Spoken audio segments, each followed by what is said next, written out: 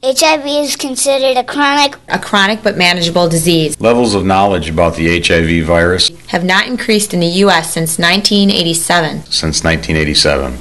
1987?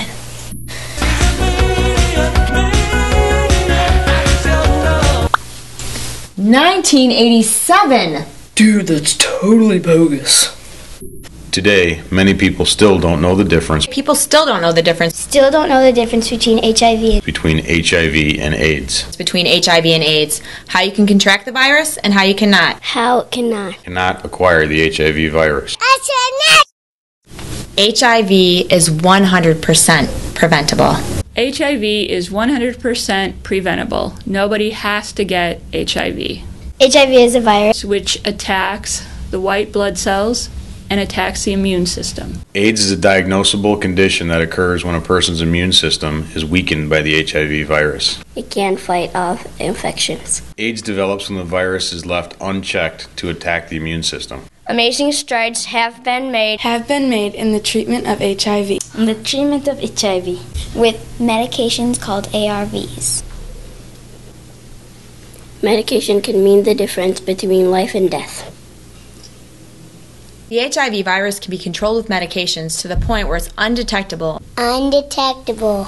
in modern blood tests. And when this is done consistently, a person can live a long life. Kids being treated for HIV are expected to live a normal lifespan. HIV is transmitted in three main ways. There's three basic ways um, through unprotected sexual contact, through injection drug use, or the sharing of needles. And mother to infant transmission during birth or breastfeeding. These are the only ways HIV can be transmitted. There has never been a case of HIV being transmitted in a normal family living situation. It cannot be transmitted by hugs, it cannot be transmitted by casual contact. Without education, people living with HIV will face stigma. From neighbors. Anywhere. Sadly, some of the most vulnerable orphans in the world will be overlooked for adoption because of fear and ignorance of HIV and AIDS. These kids depend on people like you and me We depend on you. We depend on you. to raise awareness and help end their suffering.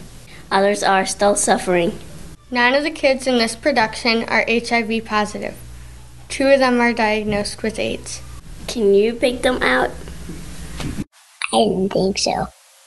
Help end stigma. Partner with Project Hopeful in the Truth Pandemic campaign. Truth Truth. Truth. Truth. Truth. It's contagious. Spread it. Dude, the 80s are over.